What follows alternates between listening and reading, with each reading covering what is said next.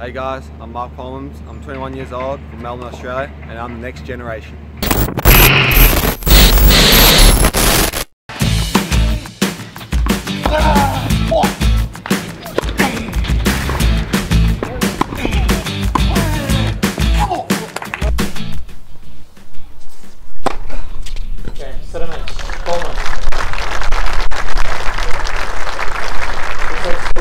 I just felt like everything was going my way that week. The conditions were suiting my game. Um, and also I had my coach there with me and, and, a few friends and family, so that also helped to the experience. Um, and uh, yeah, I was happy to win the title for my first one in Australia. Made a few little improvements over the off season. Um, I think my serves improved a little bit, getting a few more cheap points, which is uh, making a little bit of a difference. But um, also, um, I, I think I've improved my fitness, so I can uh, extend the rallies and, and back up point after point a bit better. Um, so I think that's made a bit of a difference so far.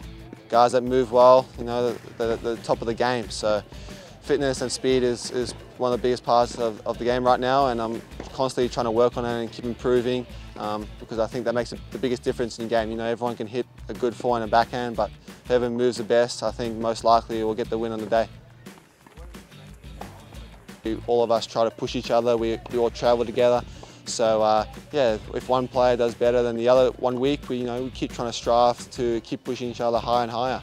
Um, we, would like to see more Aussies in the top 100, so that's our goal. And you know, there's a lot of Aussies coming through around the 200 ranking mark. Um, Alex de you know, he's, he's close to top 100 now, so it's good for us other guys to see that. Um, you know, it's, it's, possible for us to also be there hopefully soon, so we'll uh, keep up the hard work and, and keep trying to push each other.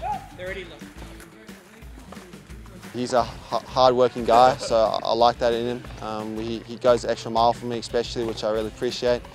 Um, he had a, a, real, real tough uh, game style. You know, he, he, he, didn't win any matches easily. He, he competed his, his, heart out for almost all matches. So to have a coach like that in my corner, he, he gives me a lot of feedback on, on areas I can improve my game.